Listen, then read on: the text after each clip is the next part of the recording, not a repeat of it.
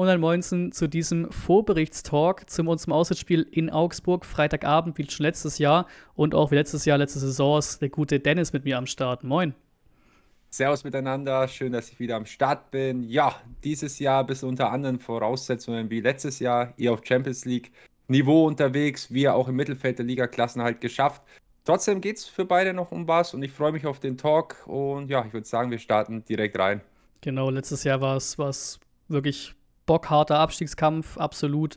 Ähm, und auch da schon, wie letzte Saison auch schon, die Saison auch wieder so, bei dir natürlich der VfB-Fokus auf dem Kanal, gerne zu ihm rübergehen, dann auch Abo da lassen, Video schauen, da der VfB-Fokus, hier natürlich der Fokus auf den FCA, da wissen wir natürlich nicht so viel drüber wie über unseren VfB.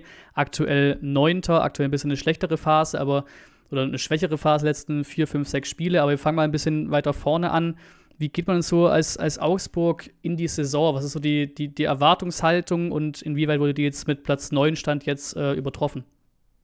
Ja, also da muss man natürlich weit zurückholen. Wir haben ja auch mit Enrico Maaßen die Saison begonnen. Da lief es ja zum Ende vom letzten Jahr nicht mehr so gut. Man hat schon ein bisschen gemerkt, dass da keine Weiterentwicklung stattgefunden hat. Dann hat man es aber noch probiert.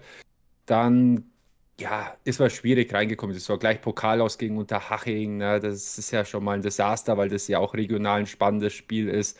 Und dann hat man einfach auch schwache Spiele gezeigt. Und dann hat man den Trainer gewechselt mit Jujes Torup. Ne? Der ist ja bei euch auch mal ein Gerücht gewesen. Sehr, sehr charismatischer Mann, der auf jeden Fall den Verein nochmal auf Achse gestellt hat. Hat dann erstmal mit Siegen auch angefangen und im Großen und Ganzen war das Ziel vom FCA dieses Jahr hinten heraus nicht so einen Abstiegskampf zu tun zu haben. Das darf man nicht vergessen.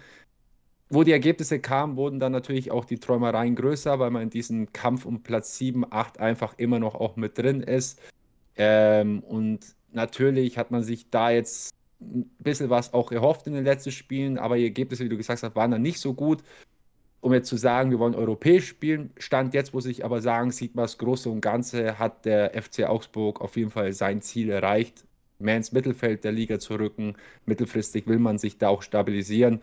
Und ja, Abstiegskampf ist schon mal AD und das ist auf jeden Fall schon mal sehr erfreulich. Und das hat auf jeden Fall auch mit dem Trainer und mit der neuen Umstrukturierung auch auf dem zum Beispiel Herr Reuter, Stefan Reuter ist jetzt auch nicht mehr im Verein tätig, zumindest nicht aktiv. Da hat man auch einen Jurendic geholt. Also da ist auf jeden Fall auch was passiert und es macht grundsätzlich einen deutlich besseren Eindruck alles hier beim FCA. Ja, hat sich einiges, einiges getan. Wann, ich weiß gar nicht, wann genau waren das nochmal das Maßen? War es, war es nicht recht schnell oder war das Mitte Hinrunde? Wann war das grob? Das war, ich kann es nicht genau sagen, sechster, siebter Spieltag rum. Da hat ja, man gegen Darmstadt früh, ne? ein Heimspiel verloren. Also man hat da schon relativ früh gehandelt. Da war dann eine Länderspielpause und man hat relativ schnell gesehen, dass vor allem auch spielerisch die Mannschaft einfach sehr wenig angeboten hat. Und dann hat man ein Heimspiel gegen Darmstadt äh, mit 60, 70 Prozent Ballbesitz für Darmstadt ne, zu Hause verloren. Und dann war eigentlich klar, jetzt müssen wir handeln, weil die Mannschaft braucht einen neuen Impuls. Und da war einfach auch spielerisch einfach zu wenig, ne? Ja, wie, wie bist du dann gerade zufrieden mit dem, mit dem Kader? Wie sieht's Der Kader? Ist der, der ist Kader? der für dich wettbewerbsfähig genug oder ist der für, für Höheres bestimmt oder spiegelt der sich auch auf Platz 9 recht, recht gut wieder? Ähm, ganz schwierige Frage. Ne? Letzten Endes ist der Kader in Augsburg schon ein spannender. Man hat aber jetzt in den letzten Wochen gesehen, wir spielen gerade Raute, man hat zu wenig Flügelspieler auf Außen, wie ihr zum Beispiel einen Silas halt mal bringen könnt von der Bank. Ihr habt einen Führig, ihr habt einen Leveling, ihr habt einen Mio, der das auch spielen kann. Fehlt es bei uns gerade in der Offensive außen an Tempo. Da könnte man im Kader was machen. Bei uns muss man fast machen, damit Yes Torup hier Optionen hat. Aktuell spielen wir halt die Raute, die hat bei uns auch sehr gut funktioniert, defensiv und Stabilität auch gegeben. Man ist aber sehr abhängig von Mbabu, also von seinem Flügelverteidiger, um es mal so Mbabu und Iago. Und in den letzten Spielen hat Iago gefehlt und das hast du vorne und hinten gemerkt, ne? weil wir haben dann doch viele Flanken geschlagen. Wenn einer da wegbricht von den beiden und der Gegner kann sich natürlich auch darauf einstellen, fehlt in unserem Offensivspiel gerade über außen dann so der Punch so ein bisschen. Jago wird aber wieder spielen können, so wie es ausschaut. Er trainiert wieder voll mit. Dementsprechend gibt das uns auf jeden Fall Hoffnung. Wir sind abhängig von den beiden. Und da siehst du einfach in Augsburg ist ein guter Kader, aber sehr viele Zentrumsspieler, gerade im Mittelfeld. Du hast gute Innenverteidiger, auch da bist du gut besetzt. Aber nächstes Jahr wirst du sowohl auf Flügelverteidigerposition nachlegen müssen, weil da auch die beiden wohl gehen werden, als auch offensiv. In meinen Augen musst du da einfach dem Trainer mehr Optionen geben. Aber grundsätzlich Platz 9, wenn es am Ende auf Platz 10, 11 wird, ist zufriedenstellend und ich glaube, das gibt irgendwo der Kader auch schon her. Na, der Kader ist kein schlechter Kader, es sind schon gute Jungs dabei. Ja, wir hatten das bei dir auch zum Beispiel über Demirovic gesprochen, ähm, aber bevor wir da so ein bisschen vielleicht zu Transferthemen kommen oder sowas in die Richtung, was kann uns denn erwarten am, am Freitag? Wir haben ein Hinrundenspiel gehabt, das wir ziemlich dominiert haben. Ich meine, es war auch sogar Demirovic, der gesagt hat, wir hätten es so hergespielt wie, wie selbst die Bayern nicht. Also auch sehr viel Lob aus, aus Augsburger Kreisen für das Spiel. War auch ein besonderer Abend, ne? letztes Spiel ja. äh, vor der Winterpause und so ein besonderer Rahmen. So wie jetzt auch für euch, letztes Heimspiel der Saison, auch wieder Freitagabend, also ein Abendspiel wieder. Auch das ein besonderer Rahmen. Aber wie, wie, tritt, wie tritt der FCA auf und was ist so die, die, die Gefahren für uns vielleicht? Ja, erstmal müssen wir wieder zu uns kommen. Ne? Also die letzten zwei Spiele waren mal wirklich gar nichts. Und da droht so ein bisschen, die Spieler haben uns Fans unglaublich glücklich gemacht. Wir waren sehr zufrieden, wir waren fast in einem Hype drinnen schon, haben die abgefeiert. Vielleicht war es auch ein bisschen zu viel des Guten. Ne? Dann hat man auch den Klassenhalt geschafft. Und dann verlierst du, wir sind sehr heimstark, wir sind enorm schwierig zu Hause zu schlagen gewesen. Auch gerade unter jetzt verlierst du zu Hause gegen Bremen 3-0. Mit so einer Art Einstellung. Das Problem war jetzt nicht, dass du gegen Bremen verlierst, aber es war diese FCA-DNA nicht da, dieses kämpferische gegen den Ball, eklig sein. Das brauchen wir Fans und ohne das haben wir auch keine Chance, ne, in dieser Liga konkurrenzfähig zu sein. Wir müssen Gras fressen, ne, wie es gestern Dortmund auch gemacht hat gegen Paris. Verteidigen ist das allererste. Und ich habe das Gefühl, dass die Spieler so ein bisschen zufrieden waren ne, und dann so kicken wollten. Haben es mit dem Ball auch gar nicht so schlecht gemacht gegen Dortmunds B11, muss man auch sagen. Aber sie haben einfach defensiv nicht die Meter gemacht, die man braucht. Und dann kriegst du halt Konter und lächerliche Gegentore. Das ist momentan der Stand. Wenn wir das nicht abschalten, werden wir von euch abgeschlachtet in Augsburg. Sage ich ganz ehrlich. Dann rechne ich mit einem 4-5-1. Aber es ist das letzte Heimspiel. Ich, die Kritik ist bei den Spielern angekommen, medial etc. Sie drohen hier gerade so ein bisschen sich was kaputt zu machen, was sie sich aufgebaut haben. Es geht nicht darum, euch zu schlagen jetzt im ersten Moment für mich. Es geht darum, wieder gegenzuhalten, kämpferisch gegen eine Mannschaft, die natürlich aktuell die deutlich stärkere ist von euch. Ne? Da muss überhaupt nicht drüber reden. Aber im Fußball ist alles möglich und wir wollen halt sehen, dass die Mannschaft wieder kämpft, Gras frisst, beißt und wenn wir das auf den Platz kriegen, wie bei vielen Flutlichtspielen zu Hause, ist immer gut, dann wird es für euch auch nicht einfach hier und dann könnte was gehen, auch wenn es enorm schwierig wird. Aber wenn wir uns so präsentieren, wie jetzt in den letzten zwei Spielen vor allem, grundsätzlich haben wir von den letzten fünf Spielen auch nur eines gewonnen. Das war gegen Union zu Hause. Werden wir gegen euch nicht viel Land sehen, aber ich glaube, die Jungs wissen, was es geht und sie wollen sich ja auch gut verabschieden zu Hause. Ja, also es wird, wird ein ganz anderes Duell. Letztes Jahr war es ja teilweise schon ein bisschen Krampf. Bei uns war auch schon Höhnes da, aber natürlich nicht so, nicht so ausgereift wie jetzt dann. Ein 1-1 am Ende des Tages. Bei uns Endo der Torschütze, ähm, das dann ja beiden so ein bisschen was weitergebracht hat. Halt, Punkt ist immer wichtig im Abschießkampf. Ähm, beide auch in die Saison reingegangen, ganz klar mit dem Ziel, du willst halt drin bleiben. Bei uns ja auch vor der Saison die großen Abgänge und so und die große, die große Unklarheit, Kapitän wirken alles ja, da war eigentlich die, die, die Voraussetzung, bitte werd wenigstens 15. So viel mehr hast du mhm. nicht, nicht gedacht. Ähm, bei Augsburg vielleicht ein bisschen höher noch getippt, weil die Augsburg sich schon dann normalerweise zumindest mal zwei, drei Plätze höher noch sichern, irgendwie 12, 13, 11 oder sowas, 14 in die Richtung. Ähm, aber in die Richtung mag ich mal gehen. Bei uns natürlich auch sich extrem entwickelt, spielen wirklich einen guten Fußball. Ähm, und bei euch, wie viel ist da noch? Da, sage ich mal, dieser Abstiegskampf-DNA oder hat sich das auch schon entwickelt zu einer Mannschaft eben, die kämpfen kann, die defensiv gut stehen kann, die so Attribute noch hat, aber eben, was ihr auch getan habt und immer noch tun könnt, doch auch schon ein bisschen nach Europa schielt und dafür muss man ja schon auch ein bisschen mehr kicken können. Ja, und da haben wir auf jeden Fall einen Schritt nach vorne gemacht, im Großen und Ganzen unter Jess. Man hat angefangen, Fußball zu spielen, man war auch wirklich sehr zufrieden, man hat gerade auch Seiten öfters mal überladen, ne? man ist auch öfters durchgebrochen, viele Flanken geschlagen, also man hat deutlich mehr Aktionen, das hast du auch im Stimmung im Stadion gemerkt. Ja, Situationen im letzten Drittel erschaffen und klar, dadurch haben wir uns ja auch diese tolle Phase mal erspielt. Ich weiß gar nicht, wie viele Siege in Folge, es waren auf jeden Fall, glaube ich, vier, fünf, ich weiß gar nicht mal genau. Da waren wir einfach in einem Hype drin. Ne? Da ist alles, hat alles geklappt. Und ja, wir haben uns in der Hinsicht entwickelt, aber auch da waren zum Beispiel Mbabu und Jensen auf der rechten Seite, da hast du gemerkt, die haben einfach funktioniert zusammen. Da hat sich Jensen verletzt. Also wir sind schon noch eine Mannschaft in einem Prozess. Auch der Trainer kann nicht zaubern und wichtige Spieler dann wegfallen. Ne? Das hast du in unserem Spiel gemerkt.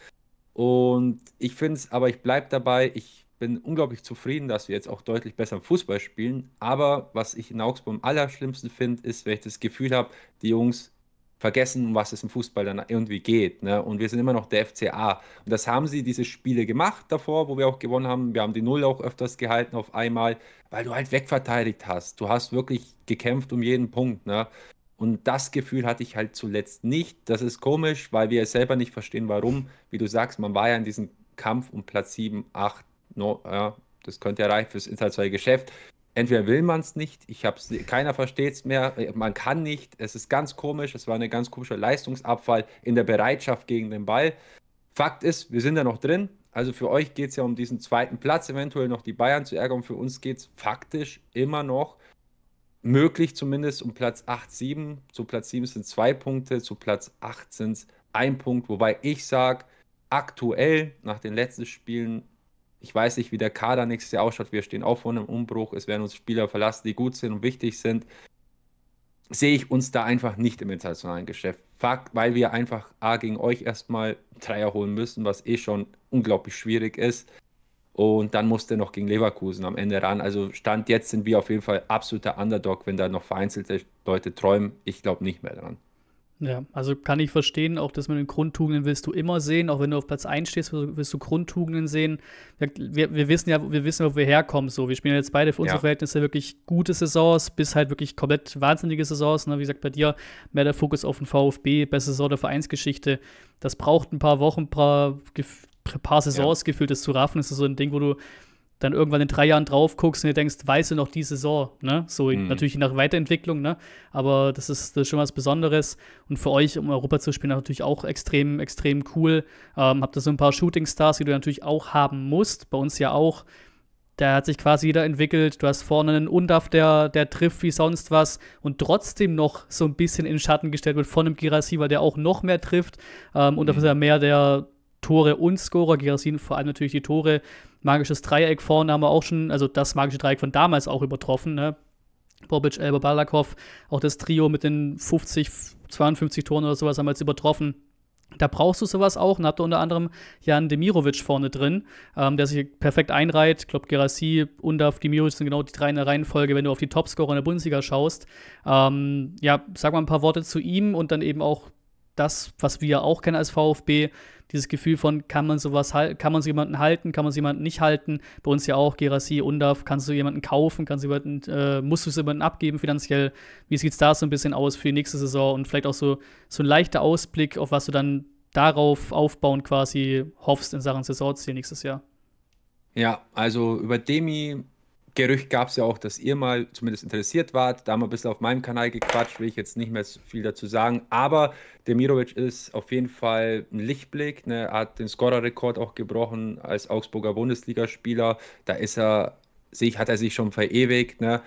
Er spielt eine unglaublich gute Saison im Großen und Ganzen. Er ist einfach vor der Box echt gefährlich. Also wenn man ihn da Raum gibt und ihn anspielt und findet, da hat er gefühlt einfach ein sehr gutes Raumgefühl ist auch jemand, der dann auch den gut postiert, also gut positionierten Mitspieler findet. Der macht ja auch Assist. Ähm, absoluter Teamspieler, auch gegen den Ball, kämpft viel, läuft an wie ein Verrückter.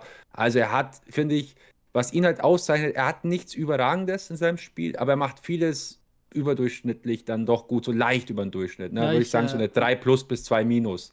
Ne? Und das macht ihn halt zu einem echt guten Bundesliga-Profi, weil er auch Thema Einstellung so einfach vorangeht. Das zeichnet ihn aus. Er hat jetzt aber auch wie die Mannschaft so ein kleines Formtief, hat jetzt auch ja, ein bisschen unglücklich mal im Abschluss gewirkt, ist am Ende ja auch nur ein Mensch, alles ist in Ordnung. Er wird aber natürlich sehr heiß sein, weil, wie du sagst, es könnte durchaus sein, sein Marktwert ist ja explodiert, über 20 Millionen plus, ne, wird man für ihn kriegen, falls er den Verein verlässt, dass sein letztes Heimspiel ist. Ist so einer haltbar? Das fragt sie euch wahrscheinlich gerade auch bei Girasi und yeah. Undaf etc. Und was kauft man den? Ganz schwierig. Ähm, ich sage, wenn man so eine Summe am Ende aus Augsburger Sicht für ihn kriegt, ist das ein absolutes Win-Win-Geschäft. A, man hat dem Spieler einen Karriereschritt ermöglicht zu einem Verein, der wahrscheinlich dann international spielt. Das hat auch unser Sportdirektor gesagt. B, der FCA muss am Ende auch Einnahmen erzielen. Ne? Und mit Daru eh von einem Umbruch stehenden Spieler wie Udokai enorm wichtig, könnten den Verein verlassen. Vargas, Iago verlässt den Verein sicher, das sind ja Topspieler. Mbabu, das ist unser Flügelverteidiger Zange, von der ich vorhin gesprochen habe. Das sind ja Topspieler des Vereins und irgendwo musst du ja auch Einnahmen erzielen, um da adäquat Ersatz zu holen. Sehe ich es momentan so, kriegst du für Demi so eine Summe, solltest du ihn vielleicht dann auch ziehen lassen, auch wenn es weh tut. Und mein Bauchgefühl ist, dass er den Verein verlassen wird. Aber trotzdem eine überragende Geschichte. Wenn er am Ende bleibt, bin ich aber auch glücklich. Ne? Keine Frage. Dafür ist er unser Capitano und auch Aushängeschild mittlerweile des Vereins. Ja, da sind wir ja ähnlich gestrickt, sag ich mal, auch ähnlich realistisch, weil wir draufblicken. Bei dir mehr darüber gesprochen, was mit Undaf Gerassi und so vielleicht geht. Wir sind ja beide nicht finanziell in der Form gesegnet, dass du einfach alles ablehnen kannst und sagen kannst, nö, die bleiben hier, die spielen hier gut und fertig. Das klappt mhm. einfach bei uns, bei uns beiden nicht, wir, weil wir eben auch in den letzten Jahren da rauskommen. Auch wir jetzt Dritter spielen Champions League, aber letzten Jahre darfst du ja auch nicht vergessen, sind kein Champions League Stammgast, der so agieren kann. Ähm, ihr seid auch kein Europa League Stammgast oder Conference League Stammgast, der so, so agieren kann. Und auch in, in der Hinsicht mal, weil es für uns natürlich auch über die Saison hinaus ein Thema wurde, ne, also irgendwann gemerkt, yo, September, Oktober, Ball läuft echt gut, glaube September jedes Spiel gewonnen, anfangs oft weggemacht von wegen, ja, aber das Anfangsprogramm war auch verhältnismäßig einfach, da musst du punkten für einen Abstiegskampf und hier und da. Und dann wurde irgendwann klar, boah, okay, vielleicht sogar Europa League, jetzt mittlerweile fest klar, yo, Champions League, das sogar auch aus eigener Hand, ne, also den fünften Platz brauchen wir gar nicht, den Dortmund sich dann quasi selber erspielt hat über die Champions League äh, unter anderem. Ähm, und da war immer die Frage so ein bisschen, will man das schon? Viele haben auch so ein bisschen die Panik vor, oh, kommt Europa zu früh. Wie würdest du dazu stehen, äh, wenn Augsburg diese Saison doch noch auf einen Conference League, Euroleague Platz kommt? Kommt das zu früh oder sagst du, wie ich auch so ein bisschen in dem Sinne von, ja, es kann von mir aus auch zu früh kommen, aber wer mhm. sagt mir dann, dass die nächsten, wie bei uns jetzt zum Beispiel, wir haben 14 Jahre die Champions League gespielt, wer sagt mir, dass wir die nächsten 14 Jahre nochmal Champions League spielen, deswegen, sobald es kommt, nimmst du es einfach dankend mit und genießt das? Hier gibt es auf jeden Fall zwei Meinungen. Ne? Es gibt die einen, die das so sehen, die sagen, es kommt zu früh für den FCA. Absolut nachvollziehbar auch die Argumente. Also kann man einfach drüber diskutieren. Ne? Man versteht die Seite auch. Nur bin ich halt jemand, ich finde das Leben, das, das ist ja nicht nur Fußball, hast du so eine Chance. Ne? Wie du sagst, wann wirst es ist ja auch nicht garantiert und planbar, dass du das nächste Jahre wieder schaffst oder die Chance hast. Und am Ende ist Fußball ein Leistungssport, wo du das Maximum haben willst. Ne? Wenn du dich davor scheust, und ich weiß nicht, ich kann mir nicht vorstellen, dass diese Jungs nicht wollen, es sah nur so ein bisschen aus, letzte zwei Spiele, und dass der Verein nicht will, das wäre ja völliger Unfug, zu sagen, man will nicht. Und vor allem, wenn du mal die Chance hast, wie wir, dass man hat ja jetzt nicht eine überragende Saison. Am Ende haben wir auch jetzt gerade 39 Punkte. Ne? Äh, und steht halt da, weil das so ein Schneckenrennen im Mittelfeld ein bisschen ist. Die oben ja. sind weggezogen. Du hast ja eine einmalige Chance aus Augsburger Sicht, die du auch schon mal genutzt hast. Wir waren ja schon mal in der Euroleague ähm, da was außergewöhnlich zu schaffen und es wäre eine Sensation. Ja, sogar Heidenheim als Aufsteiger ist da ja, noch drin, nur als Beispiel zu nennen. Ja. Da musst du ja drüber nachdenken. Und dieses Märchen für Fans und Vereine, diese internationalen Spiele, selbst nur wenn es so Conference League ist, da geht's doch, da wirst du nicht reich in der Conference League ja. oder Euro League, ne? Aber für die Fans, für den Verein, die Außenwirkung, ne, das wäre ein einmaliges Erlebnis, ne? Und Viele schreiben dann natürlich, ja, aber lass doch lieber darauf verzichten und den Trainer was aufbauen lassen. Aber wer sagt denn, wenn jetzt noch mal ein gutes Jahr bleibt, dass der überhaupt noch in Augsburg bleibt? Ne? Ist der überhaupt dann haltbar? Der Kader, Fußball ist so dynamisch, du kannst, ja, so komplett. gut du planst, nicht alles planen, wie im Leben. Ne? Es kommt immer was dazwischen. Und so sehe ich das im Fußball. Hast du eine verdammte Chance auf etwas, dann versuch das zu nutzen. Fertig aus. Was danach passiert, werden wir dann sehen. Ne? Und ja, ich verstehe aber auch, dass sich dann Leute vielleicht vereinzelt Sorgen machen. Dafür bin ich aber selber Sportler gewesen und das Leben gibt dir eine Chance, dann versuch sie zu nutzen. Fertig aus, Mickey Maus. Ja, finde ich eine sehr gute Einstellung. Und ich meine, die, die es so sehen, ist ja völlig in Ordnung, haben wir, glaube ich, ein bisschen den neutraleren Blick dann vielleicht drauf und gucken eher darauf, was vielleicht schlechter laufen könnte. Bei uns war auch klar, und das fand ich auch von unseren Spielern immer so geil kommuniziert, natürlich will ich dahin. So. Also, sie haben es ja. nicht an Spieltag 8 in den Mund genommen, aber sobald es immer klarer wurde, ne, wurde einfach nicht drauf geantwortet mit so einem grinsenden Gesicht, aber da war klar, natürlich wollen wir dahin. Bayern geschlagen, das erste, was ihnen einfällt, ist zu sagen, yo, Platz zwei, komm, auf, versuchen wir nochmal. Das, das ist genau die richtige Einstellung. Bei uns ja auch, wie gesagt, vorhin angesprochen, 14 Jahre ist es her. Letztes Mal Europa League war irgendwann 2013 oder sowas. Oder ich glaube, Quali-Runde war 2013, wo sogar schon quasi davor ausgeschieden sind, war ich auch dabei in einem halbleeren Stadion. Deswegen, das nimmst du natürlich alles komplett mit. Und eben, es hilft natürlich auch für die, für die, für die Kader dann, um Leute da zu behalten, ähm, um, um Reize zu schaffen. Kann natürlich gleichzeitig Thema Champions League-Falle natürlich auch problemisch, problematisch werden, wenn dein Club eben ein bisschen, bisschen Quatsch baut. Ähm, aber das ist natürlich auch absolut witzig, diese Saison. Wenn ich immer dran denke, was auch seit Jahren immer noch gesagt wird, diese 40-Punkte-Marke für den Klassenerhalt. Aktuell ist 40-Punkte-Marke Platz 8. Also diese 40-Punkte-Marke kannst du, wir sind das beste Beispiel, eigentlich auf 34 Punkte runterheben. Letzte Saison waren es 33 Relegationen, ja, davor waren 33 Punkte gleich der Klassenerhalt, die Hertha in die, in die Relegation. Das muss eigentlich 5, 6 Punkte runterschieben, das Ding. Und was da für Teams noch Chancen haben, Freiburg, Hoffenheim ist auch so ein Team, wo du irgendwie die Saison drauf guckst und dann wieder da siehst, yo, cool, ein Sieg aus acht Spielen, die hängen trotzdem auf Platz 8. So. Oder eben jetzt auch Heidenheim ist so angesprochen, wäre eine coole Story. Natürlich so ein bisschen auf Traditionsverein äh, oder großer Verein, wie auch immer äh, gesehen, ewige Tabelle und so Geschichten, wäre natürlich so ein kleines Bremen-Comeback schön europäische Nächte, Werder-Stadion und sowas. Deswegen, das bleibt auf jeden Fall spannend und auch schön, dass du zumindest da, auch wenn es halt ein bisschen ein Qualitätsgefälle ist, aber dass du da eine Spannung drin hast in der Liga, ist auf jeden ja. Fall sehr interessant. Champions League ist ja quasi durch, Europa League auch. Ähm, vielleicht kann sie sogar Frankfurt als sechster Champions League spielen, so Geschichten. Also es ist eine, eine sehr, sehr wilde Saison. Ähm, dann gerne mal dein Tipp noch zur Saison, bevor wir zum Spiel kommen. Ähm, glaubst du noch, dass ihr es packt oder glaubst du, äh, ihr bleibt Richtung Platz 9. Europäisch zu spielen, meinst du, also falls der achte Platz reicht, oder wie? Genau, ob ihr noch da reinrutscht oder ob ihr einfach gute Saison mitnimmt, einstelliger Tabellenplatz und das passt. Ähm, das muss mir die Mannschaft jetzt zeigen, sage ich ganz ehrlich. Ist ähm, gut, ja. es, ist, ähm, es ist einfach, sie haben jetzt zwei schwierige Spiele, die Jungs. Und sie haben sich jetzt ein bisschen was verbockt in den letzten Spielen. Auch bei den Fans geht es jetzt erstmal um die Einstellung. Ne? Euch wird man nicht mit euch kann man nur schlagen, wenn viel für uns läuft, ihr ein bisschen liegen lassen wird und wir 120% Einstellung auf Platz bringen.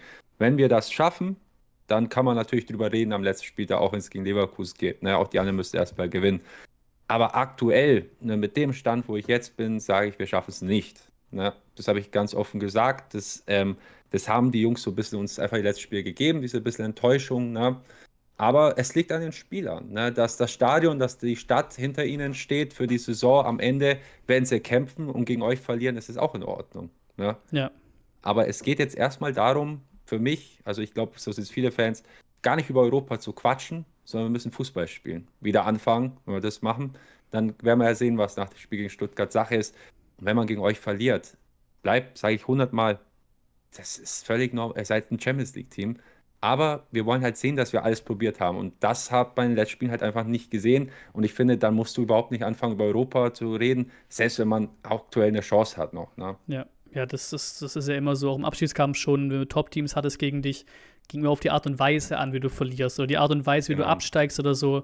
Diese Sorte man jetzt auch schon ein paar Niederlagen dabei. Natürlich nicht viele, wenn man da oben steht, aber da war jetzt auch quasi keine dabei, außer vielleicht in München, wo du komplett unterlegen warst war keiner dabei, wo du sagst danach, ja, die haben uns komplett hergespielt und hochverdient verloren. Es gibt immer ein besseres Gefühl, wenn du wirklich einfach eine Niederlage hast, aber sagen kannst, wir wurden jetzt nicht komplett irgendwie, also es war jetzt keine Niederlage und irgendwie zwei Tore zu niedrig noch so. Das ist immer ein besseres Gefühl dann. Und ich meine, für ja. Augsburg Platz 9, Platz 10 wäre eine äh, Top-Tabellensituation. Top Mal ja. gucken, wer es da oben noch, äh, noch reinschafft. Und wie du gesagt hast, die Jungs müssen motiviert sein, werden sie sein. Ich meine, wie viel mehr Motivation brauchst du oder brauchst du eigentlich ja so gesehen dann nicht, in ein Freitagabendspiel zu gehen, letztes Heimspiel, Flutlicht. Ich gehe mal sehr davon aus, dass es ausverkauft ist. Beide Fanlager sind am Start.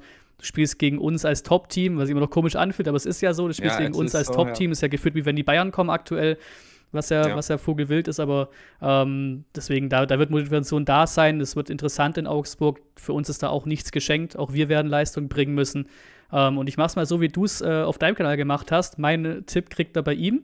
Und jetzt darfst du noch deinen äh, ja, Ergebnistipp für den Freitag abgeben. Ja, ich wünsche erstmal natürlich allen auch ein gutes Spiel. Ne? Es ist ja letzten Endes, ja, so ein kleines schwäbische Derby, sagt man ja ab und zu, zumindest steht es überall so.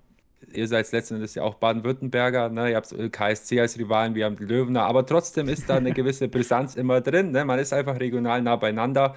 Es ist einfach so, dementsprechend wird das da einfach auch diesen gewissen Charme plus haben. Wie du sagst, mehr Motivation für unsere Jungs kann nicht gehen.